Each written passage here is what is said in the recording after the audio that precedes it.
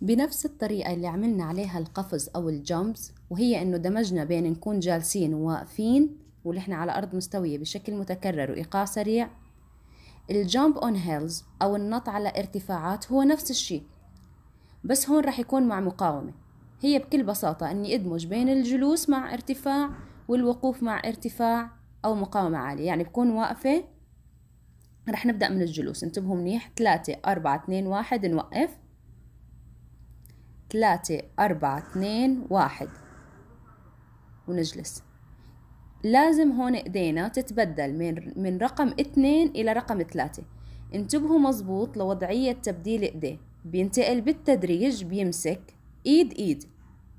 لما يكون واقف. ولما يرجع كمان بيرجع بإيد إيد. انتبهوا مرة تانية على الإيدين. كيف عم ينقلون بين رقم اثنين وثلاثة. عكس ال jump العادي لأنه هون في مقاومة شديدة فأنا ما لازم أطلع دفعة واحدة بمسك مرة اليمين بعدين بنقل اليسار بعدها بعدين بقعد باليمين بعدين يسار.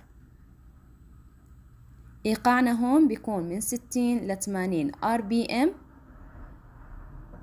يعني بطيء ومع جهد عالي.